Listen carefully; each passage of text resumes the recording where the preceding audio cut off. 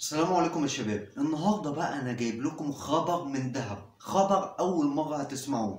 أنتوا عارفين إن وثائق القنبلة الهيدروجينية ضاعت قبل كده؟ أنت ممكن تنسى المكان اللي أنت ركنت فيه العربية مثلا أو المفاتيح بتاعتك أو الموبايل بتاعك. بس مستحيل تبقى وحش لدرجة عالم الفيزياء اللي ضيع الوثائق السريه بتاعه القنبلة الهيدروجينية سنة 1953 جون ارشيبالد ويلر كان رائد في الفيزياء اشتغل في مجال نظرية الكم والانشطار النووي زائد إن هو بيرجع له الفضل في ابتكار مصطلح الثقب الأسود. من مغامراته اللي مش مشهورة قوي هو اختفاء ملفات حساسة بتوصف اختبارات القنبلة الهيدروجينية. طب تخيلوا كده ضيعها فين؟ ضيعها في حمام وهو راكب قطر. تم الإعلان عن ملف ال FBI التابع لويلر بموجب قانون حرية وصول المعلومات. وقرر أليكس أستاذ في معهد ستيفنس للتكنولوجيا اللي حصل في رحلة القطر المشؤومة دي. طبعا الكلام ده اتنشر في 1 ديسمبر سنة 2020 في مجلة Physics Today في الأربعينات من القرن الماضي العلماء طوروا أول قنبلة ذرية وبقى عندنا سلاح القدرة التدميرية بتاعته غير مسبوقه وحتى بعد انتهاء الحرب العالمية الثانية استمرت الأبحاث. عن قنبله هيدروجينية بيحفزها الاندماج الذري والاندماج الذري عملية بتولد انفجار أقوى ب 100 مرة من الانفجار بتاع القنبلة الانشطاريه اللي وقعوها مرة على هيروشيما ومرة على ناجازاكي. والأبحاث دي كانت في إيد العالم. ويلر وبعد كده اختفت تماما. وفقا لأرشيف الجيش الأمريكي اختبروا أول قنبلة هيدروجينية في نوفمبر سنة 1952 في جزر مارشال جنوب المحيط الهادي. قوة الانفجار كانت ألف ضعف قوة القنبلة الذرية لدرجة إن الجزيرة اللي اتعمل فيها الاختبار اتمحت من الوجود. طبعا كتير جدا من العلماء والمسؤولين الأمريكيين اعترضوا على السلاح ده لكن مؤيدين القنبلة كانوا شايفين إن لازم أمريكا يبقى معاها سلاح قوي علشان لو حصل حاجة من الاتحاد السوفيتي. طيب إيه اللي حصل بقى في رحلة القطر ويلر حط الورق ده في ظرف أبيض. وركب القطر اللي رايح برينستون الساعة 9 بالليل. وقال في التحقيق إن هو طلع الورق من الظرف الأبيض وقراه وهو في المقصورة بتاعته قبل ما ينام. ولما صحي الصبح حط الظرف الأبيض ده في ظرف أكبر منه ودخل الحمام. ولما رجع تاني للمقصورة افتكر إن هو نسي الورق في الحمام. وراح تاني الحمام لقى الظرف الكبير بس مفيش جواه حاجة. قعد يدور طبعا كتير بس ملقاش حاجة خالص فراح مبلغ مكتب التحقيق الفيدرالي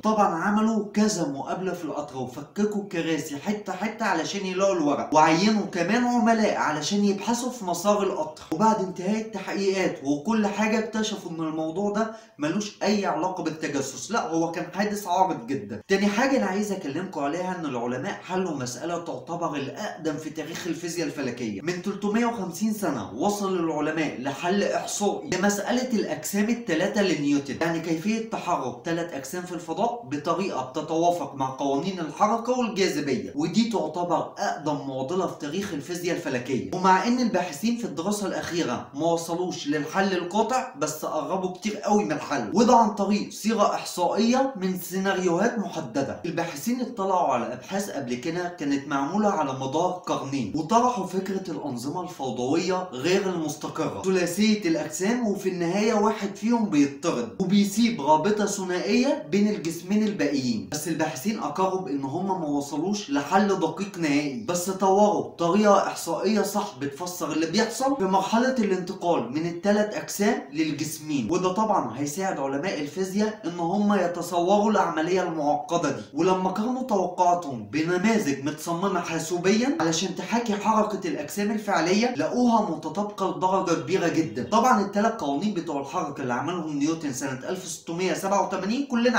عارفينهم نيوتن وصل فيهم لبعض المبادئ الكونية الأساسية بس واجهته صعوبات وهو بيطبق القواعد دي على الأرض والقمر والشمس. وطبعا دول الأجسام الثلاثية الأساسية في حياة البشر كلهم. وبقى صعب تعقب ثلاث أجسام باستخدام القواعد الرياضية. بعد اكتشاف الباحثين تعديلات على الحالات الخاصة فوصلوا لصيغه عامة علشان يحلوا مسألة الأجسام الثلاثه الموضوع عامل زي تطبيق حاجة رياضية على تأثير الفراشه كده. في فوضوية كبيرة جدا ما تقدرش تتعقبها. علشان كده الباحثين استخدموا فرضيه اسمها الاحتمالات أو فرضيه المسغانيه بتعبر عن نظام حركي بتتكرر فيه الحركة نفسها مع تكرار الزمن الموافق لحدوثها وده طبعا بعد استقرار الحركة دي. وفي أمثلة عليها تدفق المية في أنبوبة وحركة بندول الساعة. استخدم الباحثين الفرضيه دي علشان تساعدهم على الوصول لأجوبة وهو مبدأ المتوسطات الحسابية علشان يتوقعوا اللي هيحصل في نظام معين. والأهم من ده مع مرور الزمن. بيقل ارتباط العمليات المسرانيه بحالتها الابتدائية؟ أهمية الحل الجديد إنه بيساعد العلماء على فهم سلوك الجسمين في مسألة الأجسام الثلاثه عن طريق سيناريوهات كده. مثلا لو خدنا إن في ثلاث ثقوب سودا بيدوروا حوالين بعض فطبعا المدارات بتاعتها هتبقى غير مستقرة. وحتى بعد ما واحد فيهم يطرد هنفضل مهتمين بالعلاقة اللي بين الاثنين الباقيين. آخر حاجة أنا عايز أكلمكم عليها هي الفيزياء الجزيئيه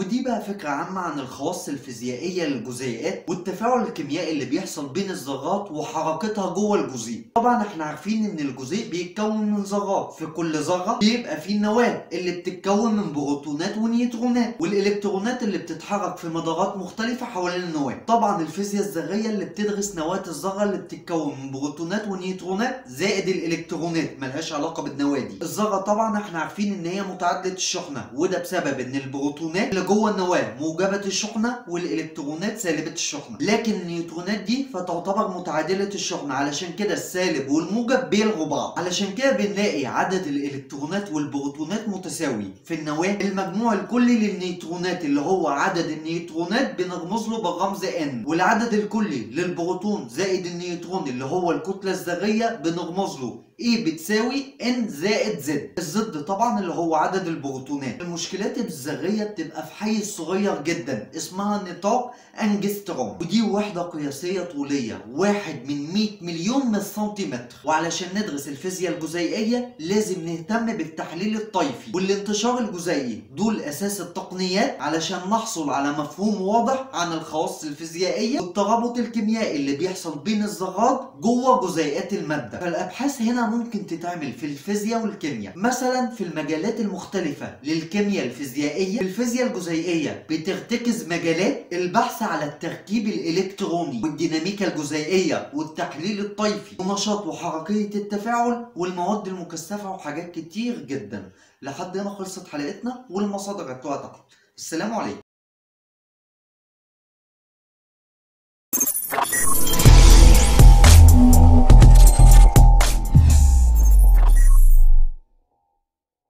السلام عليكم يا شباب. النهارده بقى أنا جايب لكم خبر من دهب. خبر أول مرة هتسمعوه أنتوا عارفين إن وثائق القنبلة الهيدروجينية ضاعت قبل كده؟ انت ممكن تنسى المكان اللي انت ركنت فيه العربية مثلا أو المفاتيح بتاعتك أو الموبايل بتاعك. بس مستحيل تبقى وحش لدرجة عالم الفيزياء اللي ضيع الوثائق السريه بتاعت القنبلة الهيدروجينية سنة 1953 جون ارشبالد ويلر كان رائد في الفيزياء. اشتغل في مجال نظرية الكم والانشطار النووي. زائد إن هو بيرجع له الفضل في ابتكار مصطلح الثقب الأسود. من مغامراته اللي مش مشهورة قوي هو اختفاء ملفات حساسة بتوصف اختبارات القنبلة الهيدروجينية. طب تخيلوا كده ضيعها فين؟ ضيعها في حمام وهو راكب قطر. تم الإعلان عن ملف ال FBI التابع لويلر بموجب قانون حرية وصول المعلومات. وقرر أليكس أستاذ في معهد ستيفنس للتكنولوجيا اللي حصل في رحلة القطر المشؤومة دي. طبعا الكلام ده اتنشر في 1 ديسمبر سنة 2020 في مجلة Physics Today في الأربعينات من القرن الماضي العلماء طوروا أول قنبلة ذرية وبقى عندنا سلاح القدرة التدميرية بتاعته غير مسبوقه وحتى بعد انتهاء الحرب العالمية الثانية استمرت الأبحاث عن قنبلة هيدروجينية بيحفزها الاندماج الذري. والاندماج الذري عملية بتولد انفجار أقوى ب 100 مرة من الانفجار بتاع القنبلة الانشطاريه اللي وقعوها مرة على هيروشيما ومرة على ناجازاكي. والأبحاث دي كانت في إيد العالم ويلر وبعد كده اختفت تماما. وفقا لأرشيف الجيش الأمريكي اختبروا أول قنبلة هيدروجينية